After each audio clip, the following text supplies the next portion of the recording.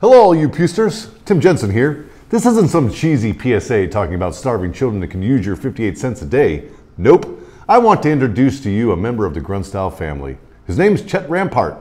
He's the Grunt Style Second Amendment subject matter expert. He ranks high on the spectrum, makes his own gunpowder, and can tell you the cyclic rate of any weapon on the planet faster than Raymond Babbitt can count toothpicks. So fill your cups and polish your brass. Chet Rampart is here to provide you all the dope you need for your pew pew desires. Ladies and gentlemen, I present to you the more you pew. Enjoy. Thanks for the introduction, Tim. I'm just on my way back from the gun range. Uh, I was checking everybody's retention to make sure it was RO compliant under my standards. I am a self-certified range officer and volunteer police dispatcher by night. Bit of a foodie, and uh, I carry a 357 Magnum revolver. Well, I applied for my concealed carry permit, but the state thinks I'm a little too overqualified, so I'm gonna fight this to the end.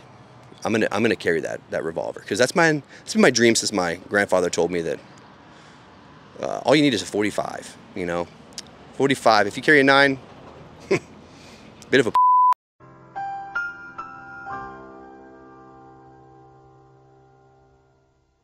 The more you pew, the more you pew. the more you pew.